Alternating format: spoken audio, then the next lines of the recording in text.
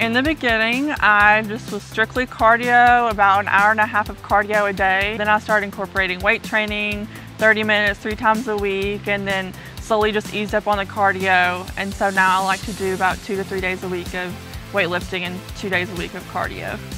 It took me one year. I started, you know, New Year's of my freshman year of college, and by New Year's of sophomore year, I weighed myself and I had was down 102 at that point. As Hannah started to notice results, she decided to change her major to nutrition and since then has inspired her family and her friends to get healthy as well. My little sister, at first, she lost 50 pounds on her own. And then my dad started going to the gym and he's lost weight. And then my twin sister has recently lost over 100 pounds also.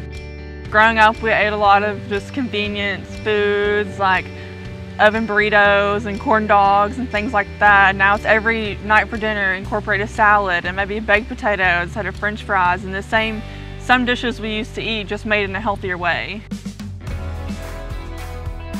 One source of insecurity for Hannah when she was heavier was the uniform she had to wear at work, and she's currently a waitress, so that's very important.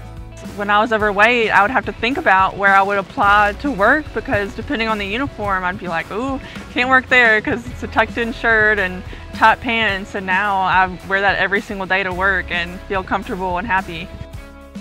My goal in life is just to help other people lose weight in any way, any kind of job that I might be able to do that. That's just my goal. Even if it's just one person, to help one person change their life like I changed mine.